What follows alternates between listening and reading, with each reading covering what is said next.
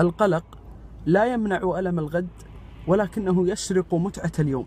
فلا تحمل نفسك هموما لن تستفيد منها. وتذكر الحديث البخاري قوله صلى الله عليه وسلم اللهم إني أعوذ بك من الهم والحزن. مدح الناس لك يدلك على جميل ستر الله عليك فهم لا يعلمون منك إلا ما ظهر.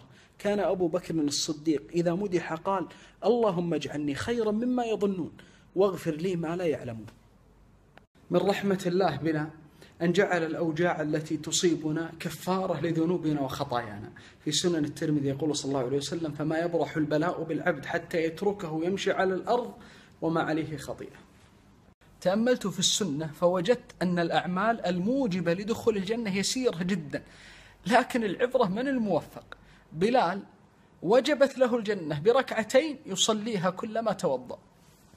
من السنة إذا رأيت صاحبك مهموما أن تحدثه بما يزيل همه ويضحك سنه ويدخل السرور على قلبه. عمر بن الخطاب رضي الله عنه قال لا أقولن قولا. يضحك النبي صلى الله عليه وسلم. المال ليست العبرة بكثرته ولا بقلته. العبرة بأمرين أن يكون من طريق حلال وقناعتك به. كان من دعائه صلى الله عليه وسلم اللهم اكفني بحلالك عن حرامك وأغنني بفضلك عمن سواك. قد يتسلل في قلوبنا الخوف من المستقبل. فلندفعه بقول الله سبحانه ومن يتوكل على الله فهو حسبه. حسبه أي كافيه.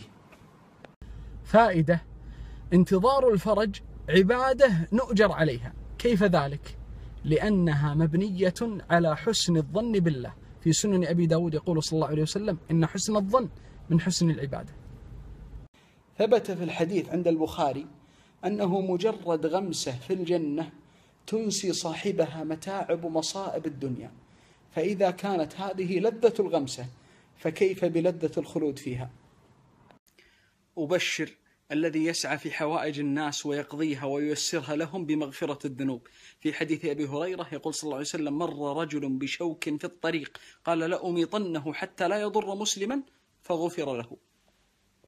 إذا كنت ممن يعلم الناس الخير في شؤون دينهم ودنياهم أبشرك أهل السماء والأرض مشغولون بالإستغفار لك. عند الترمذي يقول صلى الله عليه وسلم معلم الناس الخير يستغفر له أهل السماء والأرض.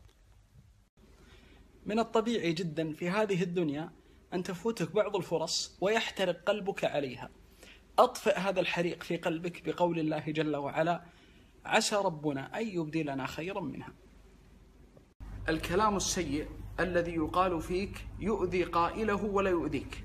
وقد قيل قديما من عرف نفسه ما ضره ما قال الناس عنه. خذ هذه النصيحة. لا ترخي أذنك لمن يريد أن يوغر صدرك على من تحب. وتذكر أنه من دعاء أهل الإيمان ولا تجعل في قلوبنا غلا للذين آمنوا. المتواضع بين حسنتين. الأولى حب الناس له والثانية الرفعة التي ينالها عند الله. تقول أم عائشة رضي الله عنها إنكم لتغفلون عن أفضل العبادة التواضع. ترى مما يدفع العبد إلى أن يحمد الله على المصيبة علمه أن البلاء يذهب ساعات الخطايا. في حديث أبي هريرة يقول صلى الله عليه وسلم وصب المؤمن كفارة لخطاياه. الوصب التعب والألم. من الإيمان أن تحزن على فوات الطاعة. قال الله عن بعض الصحابة الذين عجزوا عن المشاركة في غزوة تبوك والإنفاق تولوا وأعينهم تفيض من الدمع حزنا ألا يجدوا ما ينفقون.